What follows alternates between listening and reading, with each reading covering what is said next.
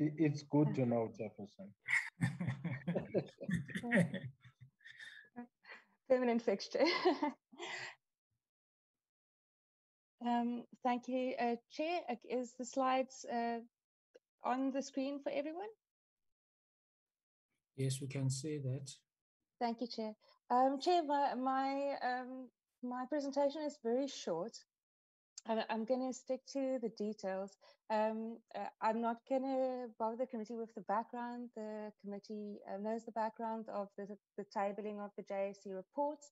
Uh, we're not going into the detail of the report itself. We're mainly here focusing on section 177 of the Constitution and where Parliament fits in to the process as outlined in that section for tonight's discussion. Um, in terms of the legal framework, Chair, the, the section 177 of the Constitution starts in um, sub 1 where it says the judicial commission finds um, that a judge suffers from uh, one of the areas then of that could lead to removal, which is um, gross misconduct, and gross incompetence, incapacity. So that's the stage that the Judicial Services Commission already um, completed. They had their inquiries, their tribunals, and they came to a finding and then submitted their findings um, or tabled the findings to the Speaker in the National Assembly. That was then referred to this committee for consideration report. And what the committee, where the committee falls in is the committee is an extension of the House. So a portfolio committee does the, the background work uh, that feeds back into the National Assembly when there is a, a, a vote like this resolution that um, section 1771B then calls for. So um, this constitution says the National Assembly calls for that judge to be removed by a resolution adopted with a supporting vote of at least two thirds of its members. So what's different here from um, what members might recall from section 89 and section 194 of the constitution is the inquiry process has already been done. Uh, the, it's not for Parliament here to um, uh, to look at what the the um, the grounds were. So the Judicial Service Commi uh, Commission has done that. So now it comes the role of Parliament here, unlike in sections 89 and 194, is it performs a check and balance um, a function. So with the different arms of government, there's always a, a, check and balance, the legislature to the judiciary, the judiciary to the executive, the, uh, the legislature to the executive, um, to make sure that even though we have a separation of powers, that, that there is a balance in the exercise of the responsibilities the constitution places on a certain arm of government. So um, the NA's role here in section 177 is therefore such a, such a check it's um, just uh, uh, it's a it's keeping that balance uh, in the sequential roles as set out in 177 so it's the JSC it's the NA and then it's the president in that sequential role. The NA then has the limited role now of um, of the resolution stage for the removal of um, of a judge. So um, in that then the, the NA can cannot or should never simply rubber stamp anything every decision, every vote that the NA takes needs to be um, rational.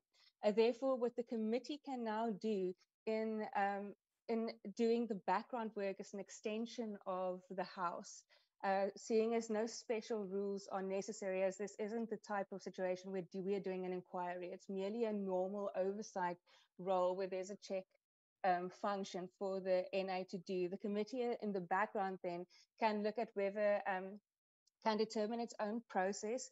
Uh, the committee might, might even look at um, how it considers the removal of magistrates um, in that process and basically looking at whether it feels that everything was ticked, that all the boxes were ticked, that, that the procedure that was followed in the JSC was fair, and then reports on whether it felt like everything is in order back to the National Assembly so that that National Assembly vote can be informed and everybody can apply their mind when that vote is taken so that it's a rational decision that's being taken when the resolution in terms of section 177 is um, that vote is exercised. So chair, in short, uh, this is uh, um, in terms of our reading of the constitution, a situation where it's the normal, normal powers and functions that a committee has in terms of the rules, that is all in play here. It's a check and balance. It's just, it, it's not redoing anything. Um, the one arm of government can't usurp the constitutional powers um, given to another. So um, the NA here can't take on the role that the JSC has already um, exercised or the powers and the functions that the JSC has already exercised. So it's a very um, limited scope, that second sequential role where we are now. And it is for the committee then to decide how best it would like to proceed within the perimeters of the normal rules of the assembly. Thank you, Chair. Thank you very much, uh, Dr. Loots. Uh, members, that is the presentation uh, from the team uh, the Parliament Legal Services. I have the following hands, Honorable Dyantyi, followed by Honorable Swart, in that order. Honorable Dyantyi. Enkosi mhlanga phambili. Uh, good evening uh, to you, Chair, and to members uh, of the committee and everybody here. Just perhaps as a start to thank uh, um, Barbara Loots and Mr. Njikela for a very brief presentation. We're used to, to very long uh, presentations, Chair. Uh, let me appreciate that. And I think uh, she's setting a tone which I want to follow uh, in that regard. I just want to, um, in the interest of um, this particular process, to just perhaps raise one question, Chair, and uh, make a few suggestions and recommendations for us as, as a committee. Uh, really, that's what I want to do. The, the, the first uh, uh question or query that I would like uh, both of them to answer, and the committee can assist in that regard. Firstly, whether has the Speaker of the National Assembly received every documentation um, from the JSC uh, as uh, it would be required for, for, for the National Assembly to apply its mind properly on this issue. Has that office received all what it needs to, to, to have received? And if so, um, has that been transferred to this committee, to the members? uh, in terms of what, what we have.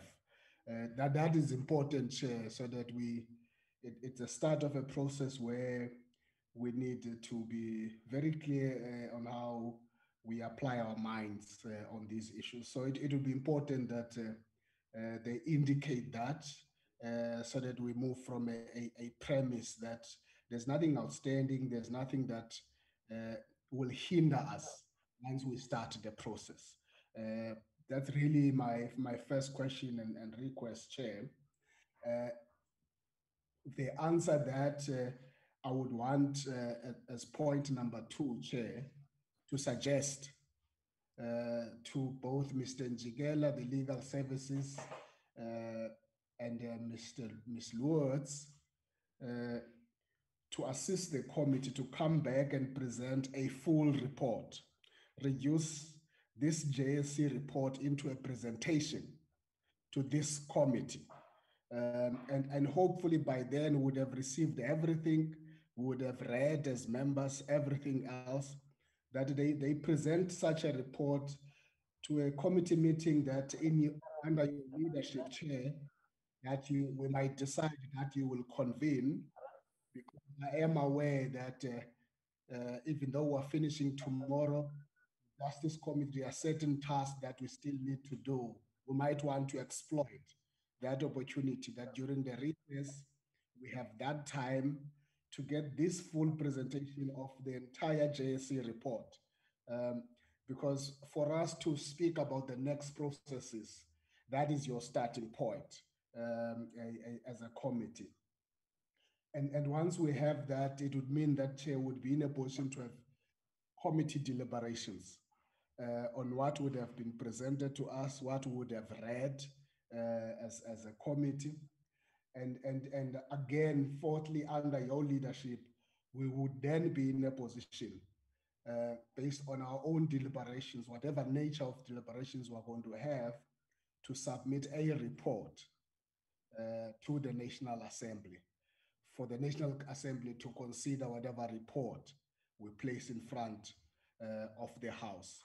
That, that those would be my, my starting uh, points, Chair, that I want to, uh, in the interest of them being brief, I also like just to be briefed, but stay on, on, on, on these kind of more process matters uh, before one gets into any substantive matters uh, uh, as of now. Thank you very much, Chair. Thank you very much, Honorable Dyantyi. Honorable Swart. Uh, no, thank you, Chair. I um, please just let me know if it becomes unclear and I'll turn off my video. But I'm, I'm grateful for the very short presentation. And to a certain degree, I, I agree with Mr. with the Honorable Dyantyi in as much as this is the beginning of a process. Um, we're definitely not going to get into the discussion of any merits or anything tonight. It's purely a discussion of the process and for us to understand what the role of Parliament is, given that there's no specific legislation that sets out in any detail the process that Parliament must follow in this case. Um, and of course, given the fact that we are exercising an oversight function. So I need to ask a few questions in what understanding the process. And I appreciate the fact the question about the material and the question about possibly another presentation uh, on the contents, but clearly we would need time to apply our minds and go through all the material. So that's very important that we first establish whether we've got all the material and then be given the time to go through it and then to receive that presentation. But at this stage, um, Dr. Loots did refer to a few issues which would refer to almost, I think she said, a tick box uh, box ticking process of oversight, um, where one would look at rationale, whether it's rational and fairness, similar to the process we follow with magistrates. One would possibly then presume that that would mean that we, and understanding the separation, that one does not engage in a review as that has already been done. Um, this is a very limited scope.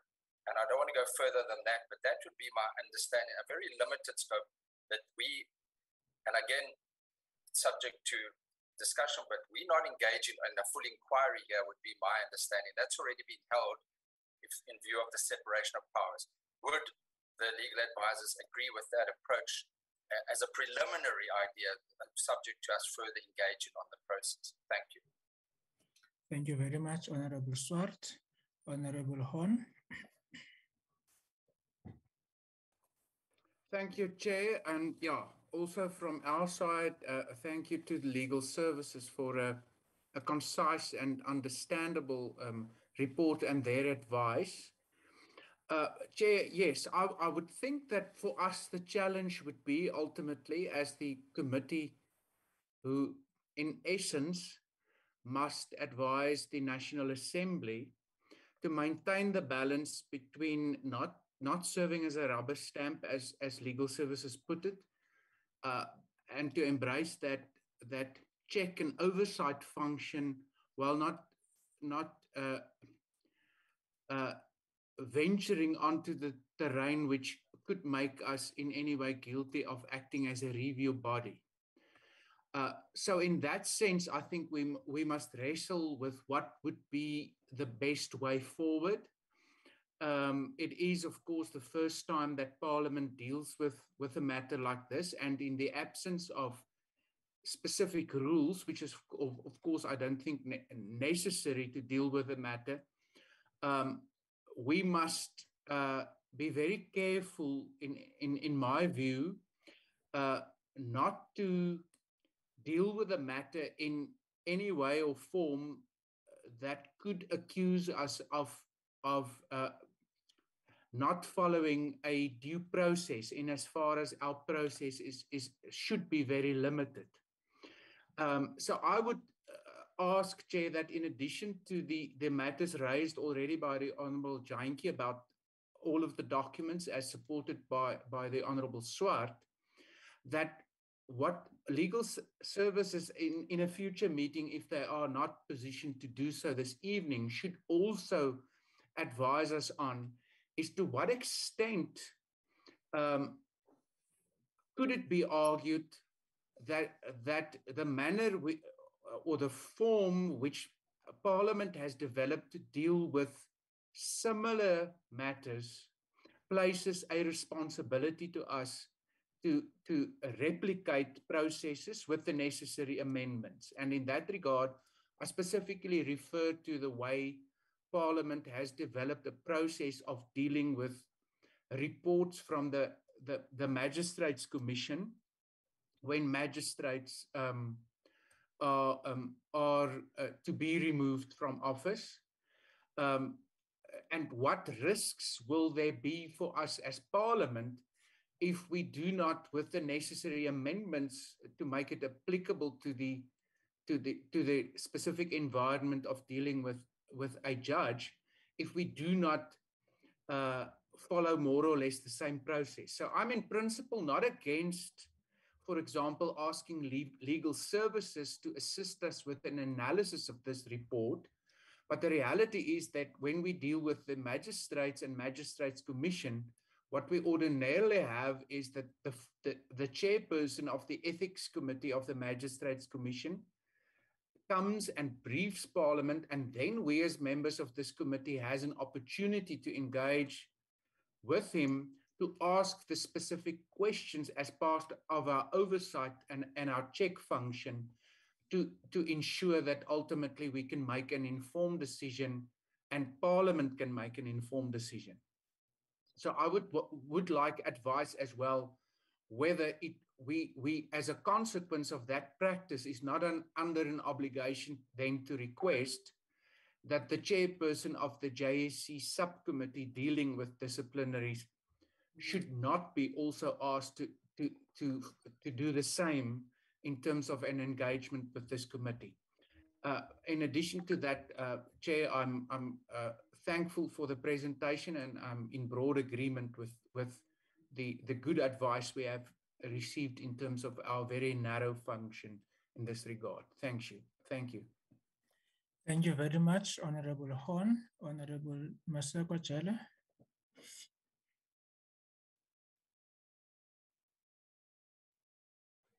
Thank you, uh, Chairperson, and good evening to the colleagues and everybody. Uh, Chairperson, I, I don't think that I have anything to say. My colleagues have already covered me uh, in even the question that I wanted to ask. Without waste of time, uh, I'll just stop here, Chairperson. Thank you. Thank you very much, Honorable Maseko Chele, Honorable Glynnis Breytenbach.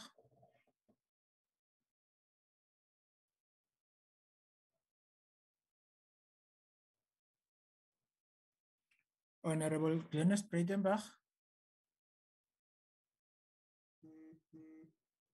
Is besig met die hane. Sy besig met die hane. Soos soos Uh, let's move on. Honorable Velma Niveau Tregens.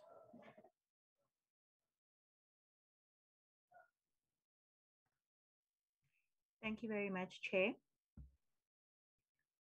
Um, and good evening to everybody.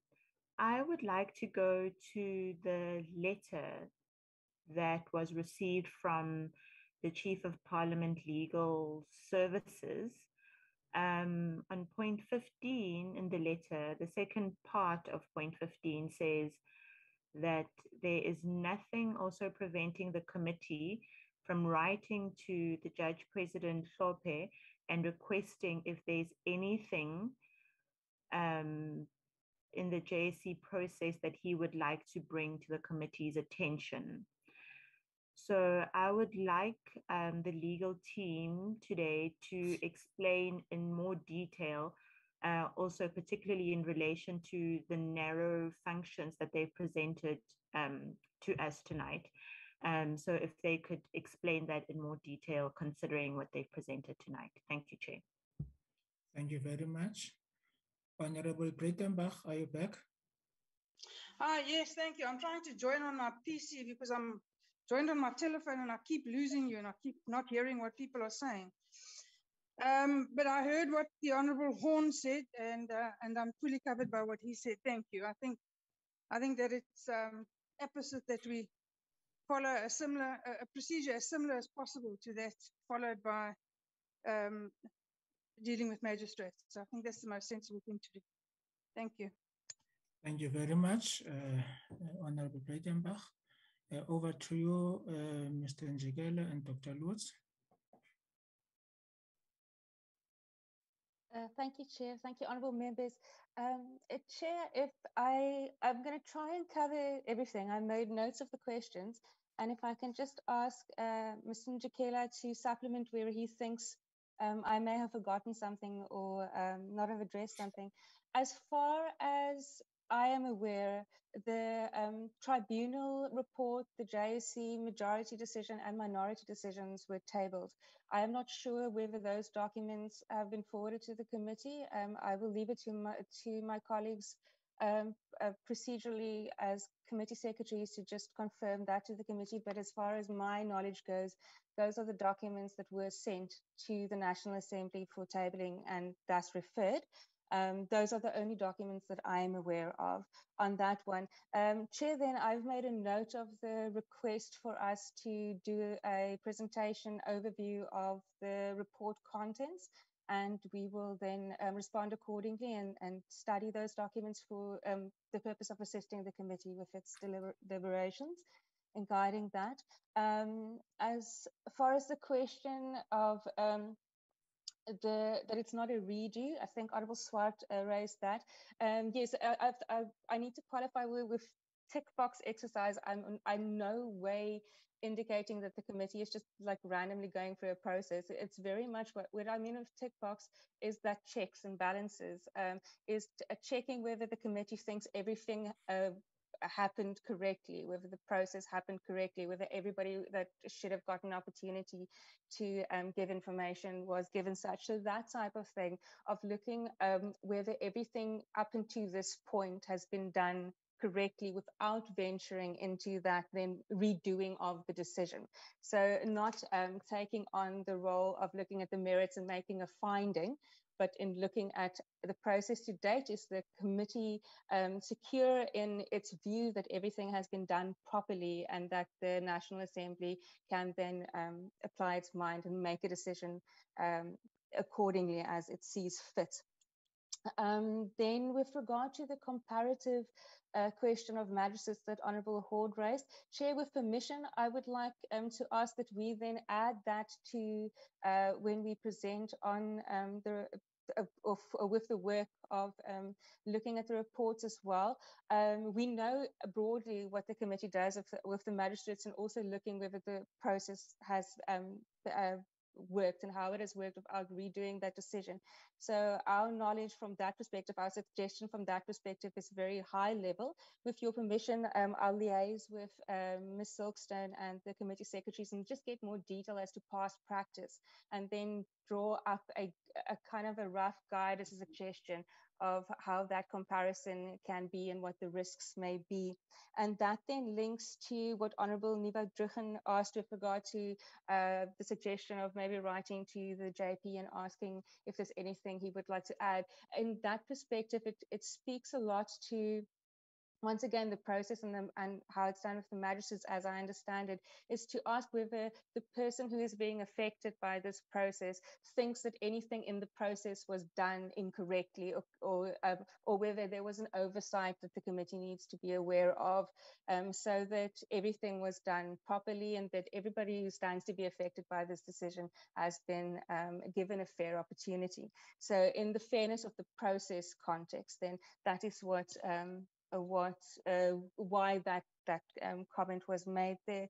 Uh, Chair, I don't know if uh, Ms. Njikela has anything to add, but I think that covers um, what I have made notes on.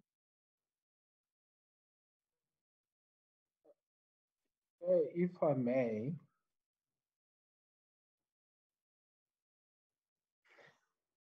Chair. Yes, Mr. Njikela.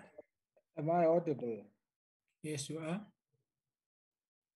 Chair, I, I, I think what we, we had hoped to, to clarify to the committee for the purposes of the start of the process was that there is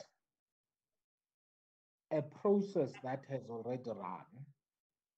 And in terms of the Constitution and in terms of the JSC Act, the issue of the finding of guilt or somebody suffers from incapacity is a matter that is exclusively within the competence of the Judicial Service Commission. The level where the committee is or parliament is at this moment is not for the committee or parliament to conduct an, a parallel inquiry.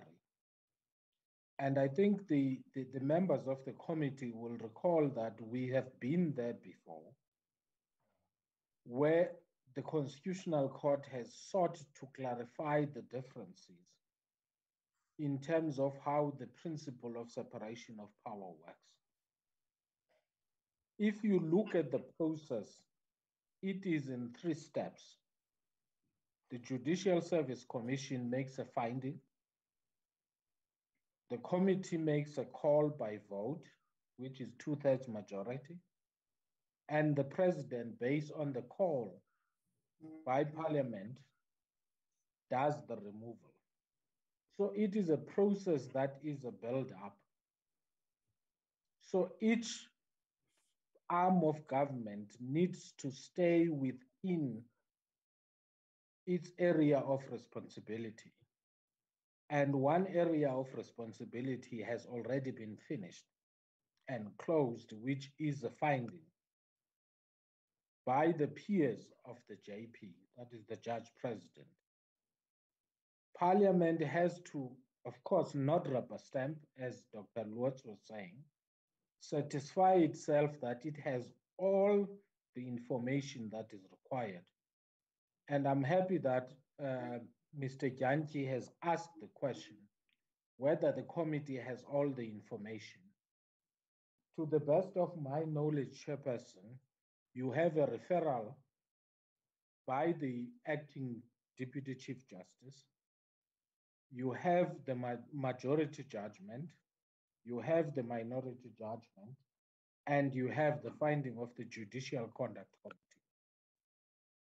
So you have all of those which are relevant to the determination that they have made within what the Act allows them to do. Um, moving on, Chairperson, to the issue of that uh, Honorable Horn us with regard to the process. In as much as there are a number of possibilities, we would like to caution again, as I've just done now in few minutes ago, that the job of the committee is not to run a parallel process in as far as an inquiry into the guilt or otherwise that lies with somebody else, and that somebody else is the JSC, and that finding been made. It could be that there may be clarifications that may be sought, I don't know. But we would like to caution that there must be a very careful consideration of the limits of each arm of government in as far as the issue is concerned. Um, I think those were the issues I just wanted to emphasize, Chair, based on what Dr. Loots has already said. But we are available if the committee needs a summary of the findings. We will be happy to, to do that, working, of course, hand to hand with our colleagues in the committee staff and prepare that presentation at the right time. Thank you very much, Chair. Thank you very much, Mr. Njikela and uh, Dr. Loots. I think um, there was an issue that was raised by Honorable Horn. Maybe you, it might be part of your background uh, research. Um, he made a point that uh, with the magistrates, the chair of the ethics committee, always comes and briefs us. Um, is there an equivalent in the JSC?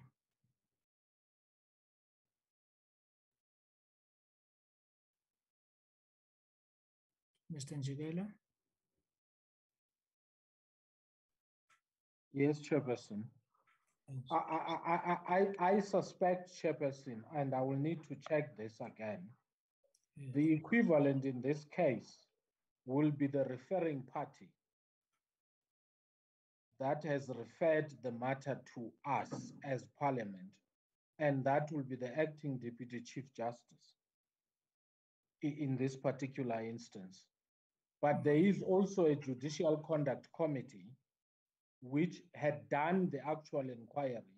So we need to just check as to who will be the appropriate authority that will be equivalent to the Magistrate Commission that deals with that issue. Because the actual finding is by the Judicial Conduct Committee, which was endorsed or adopted by the full Judicial Service Commission. So it could be the chairperson of the Judicial Conduct Committee or the acting Deputy Chief Justice who referred the matter to Parliament. So I think we may want to just go and verify that issue as to who will be the appropriate authority that must come and brief Parliament. No, my uh, Honorable Swart. Thank you, Chair. Um, I would also ask the parliamentary legal advisors to look into the issue of members sitting on this committee, such as myself, who filed a complaint against the judge president in an unrelated matter prior to this matter having been dealt with, and whether that would require me or any other members who might have filed complaints to withdraw from the process as there could be a perception of bias. Maybe um, because we haven't commenced the processes yet, I would like um, advice at possibly at our next session on that uh, score because obviously they, one doesn't want to have any perception of bias in this process. Although it's not a full inquiry, um, but I would, I'm just cautious in that regard. Thank you, Chair. Thank you very much. Members, can I suggest the following? Uh, that we ensure uh, with the assistance of the committee secretary or the committee secretariat that uh, all members have all the documents. I think that is the first point of call, that uh, we have all the documents uh, with us. Uh, secondly, a, a date will be determined where a presentation of a summary and analysis of all the documents will be done uh, by the Parliamentary Legal Services and all the other questions that were asked that uh, they could not uh, uh, provide um, ready-made answers that they, they undertook to do some further inquiries on, that uh, in our next meeting that they do that. And then um,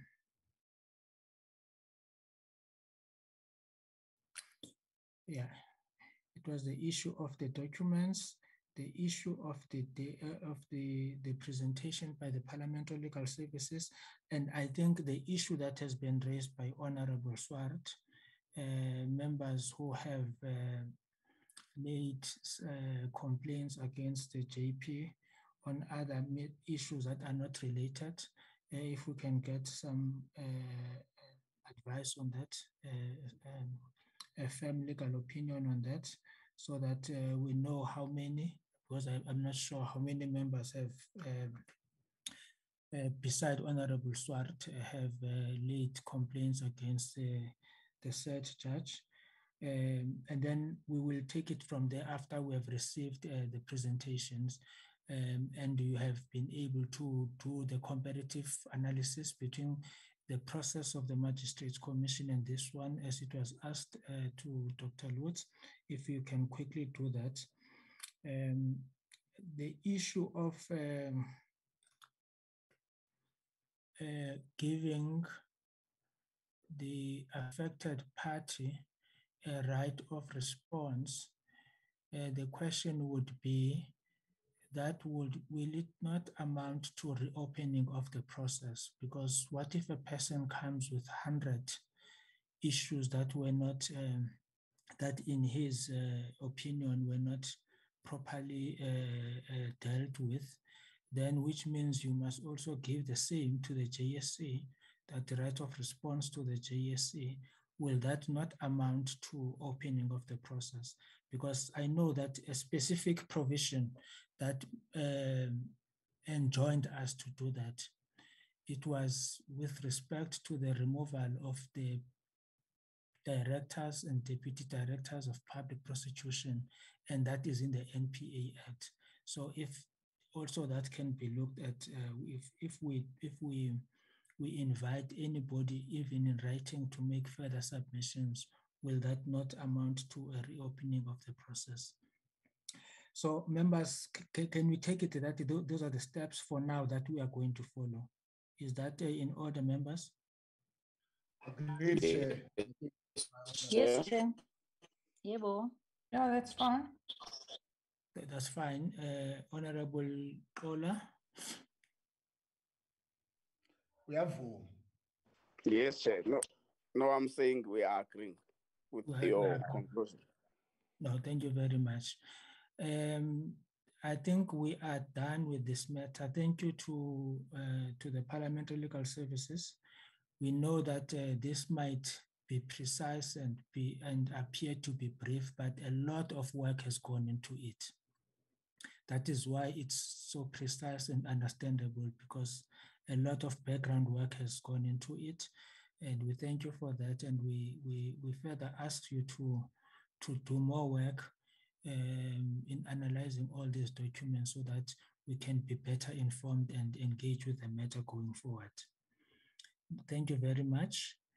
Um, I think on this matter we are done. Um, I think there is one issue uh, where we have received a letter from Honorable James Selfe with respect to the issue of the parole.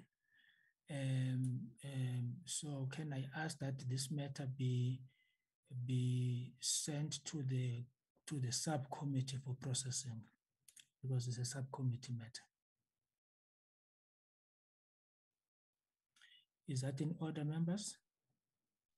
Yeah, that's fine. Yes, Chair. Thank you very much. Uh, on that note, thank you very much. Uh, uh, we can allow Honorable Glynnis Breytenbach to go and play with her dog. it's not time now. My dogs have been sleeping for a long time already. Shana Tova, Happy New Year. Thank you very much. Thank you. Thank you very much. Thank you very much. Uh, we, I, I, I hope you have enjoyed it on our behalf. Honorable Dyantyi, I, do you want to say something? Your mic is on. No, I was just saying that Glynnis must go and look after his her dogs. Thank you very My, my dogs Thank are very you. well looked after. Thank you, Richard. Thank you very Excellent. much. The, the meeting is adjourned. Thank you, Chair. Thank you very much.